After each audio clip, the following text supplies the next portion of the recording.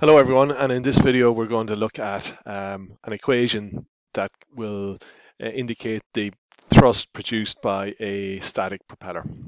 So normally uh, when we have a propeller on an engine, um, we would say that you know the engine is producing so much power. This is P here, and uh, the the prop then is is uh, producing some thrust.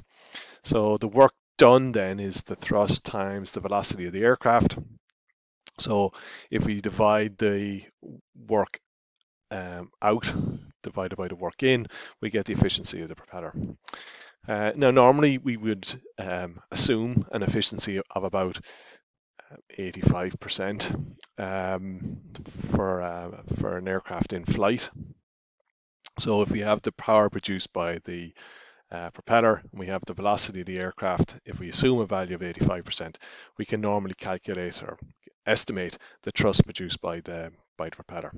But that's when it's in flight. But you know, when the aircraft is not moving, when this v is zero, uh, it becomes more difficult.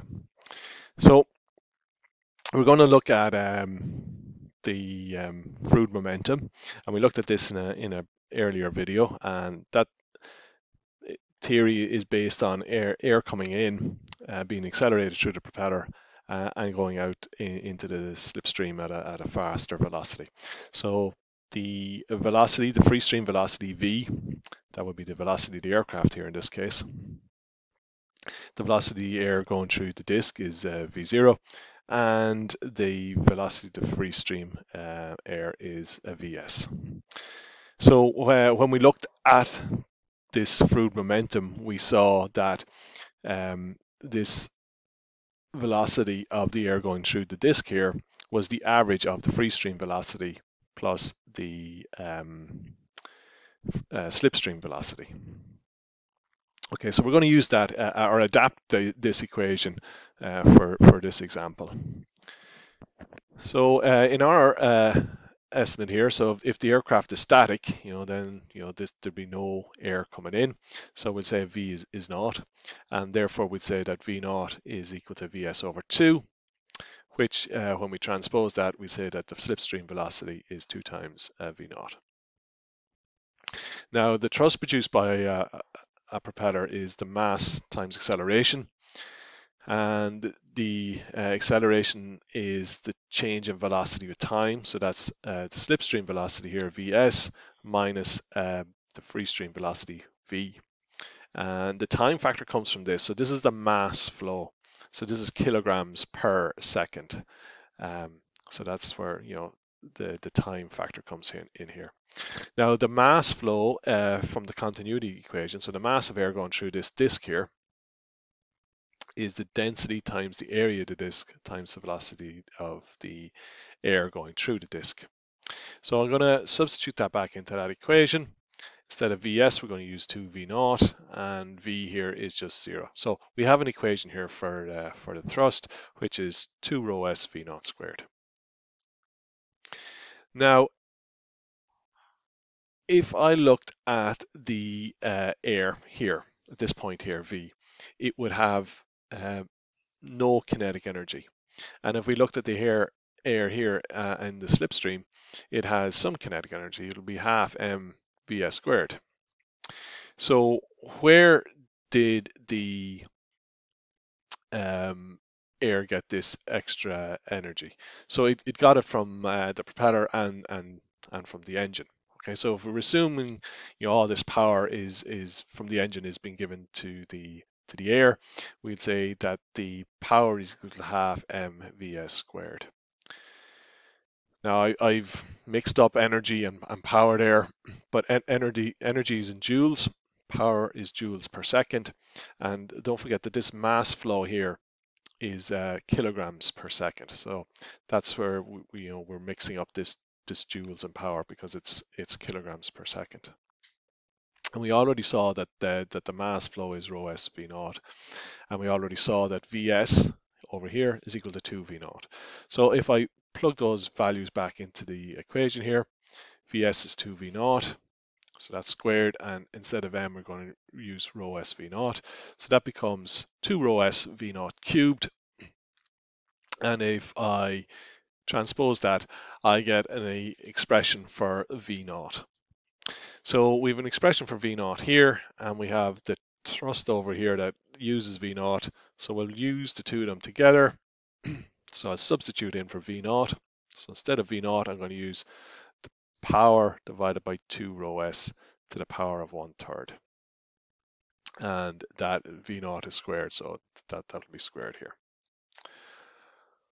Okay, so uh, that is the equation. Um, but you know we get some 2 rho s here and we've 2 rho s to the power of 2 thirds here.